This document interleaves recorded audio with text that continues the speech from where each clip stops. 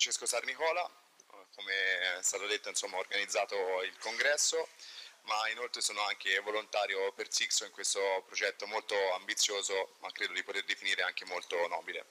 Innanzitutto volevo fare un piccolo briefing e recap su che cos'è Sixo. Sixo è un'organizzazione senza scopo di lucro che ha eh, come scopo quello di trasmettere competenze scientifiche tramite l'organizzazione di congressi dal 2001 ad oggi e colgo l'occasione anche per ricordarvi il congresso dell'anno prossimo dal 27 al 29 giugno a Torino. E inoltre quest'anno abbiamo introdotto questa nuova iniziativa di missioni di tutoring e mentoring.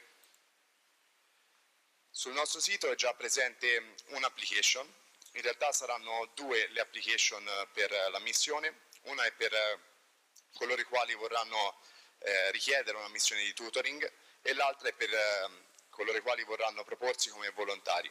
Chiaramente per quanto riguarda i volontari non cerchiamo solamente chirurghi ma anche infermieri e assistenti in oftalmologia.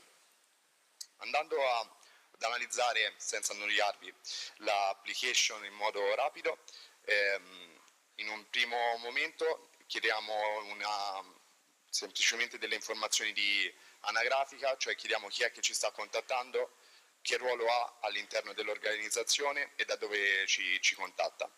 Abbiamo poi bisogno di avere dei dettagli sulla mh, sala chirurgica. Chiaramente mh, io sono laureato in economia e finanza, non devo essere io a spiegarvi i vantaggi di, una, di avere una sala dedicata all'oftalmologia e non magari dedicata a più specialità.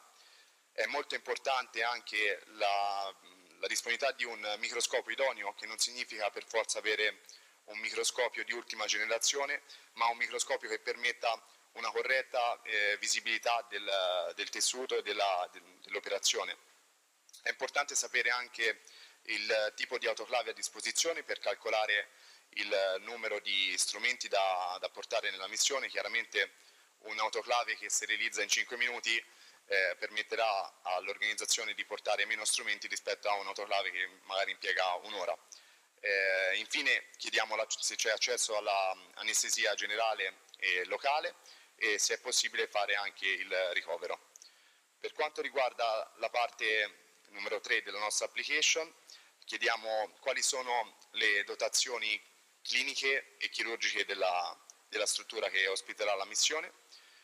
Chiaramente è importante, importantissimo la presenza di un OCT del segmento anteriore, eh, altri strumenti come la conta endoteliare o una macchina per fare il faco. Ehm, una FACO machine, scusate, e mm, una lista di materiali multiuso e monouso. Un tema toccato precedentemente, chiaramente in maniera molto più competente di come possa fare io, è quello del eh, reclutamento di tessuti. Chiaramente i paesi che dovranno ospitare la missione dovranno avere una banca degli occhi nel paese in cui dovremo andare, o comunque la disponibilità di eh, trovare dei, dei tessuti per eh, quantomeno la missione, dopodiché sarà eh, compito anche di Sixo aiutarli a trovare i tessuti magari esportandoli eh, da un'altra nazione. Chiediamo inoltre se nel caso in cui ci fosse già una banca degli occhi che potesse provvedere alla fornitura di questi tessuti, se i tessuti eh, possono essere già pretagliati e prestrippati. Infine, eh, riguardo alle risorse da formare, chiediamo il numero di oculisti che devono essere formati, il, un breve CV per capire il livello di eh, preparazione e di competenze acquisite nel, nel corso anni, degli anni, del, quindi l'esperienza acquisita, se c'è la presenza di scrub nurse, quindi ferristi, e il tipo di training, per cui se eh, sono più interessati a una tecnica piuttosto che un'altra, oppure per un overview totale di, delle varie tecniche chirurgiche. Passando un po' a quella che è la mia specialità, vorrei parlare della fattibilità della missione da un punto di vista di sostenibilità, di sostenibilità finanziaria e organizzativa. Chiaramente le variabili che vanno a influenzare il costo di una missione sono molte. La più importante sicuramente è il costo dei tessuti, che eh, rappresenta un, un, grosso ostacolo sia organizzativo che eh, a livello di costi. Ci sono poi costi di assicurazione, di strumenti, di materiali, di eh, travel, quindi di viaggi di hotel, però queste sono tutte spese che eh, dipendono poi dalla, dalla, dal tipo di missione che viene organizzata. Chiaramente una missione fatta con chirurghi europei in un altro paese europeo ha dei costi sicuramente minori che organizzare una missione dall'America all'Indonesia.